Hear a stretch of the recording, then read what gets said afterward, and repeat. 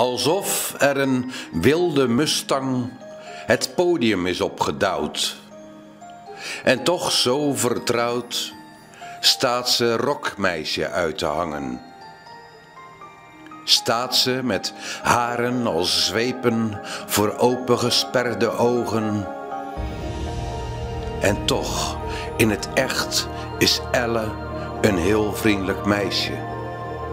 Dat van leguanen, flesbier drinken en zonnepanelen houdt. En na een optreden naar 16e eeuwse monniken ruikt.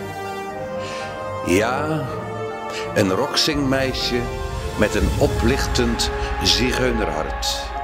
Die met haar mooie vriendinnetje in appelbomen leeft. De takkenherrie mennend tot het zwarte bloesem geeft.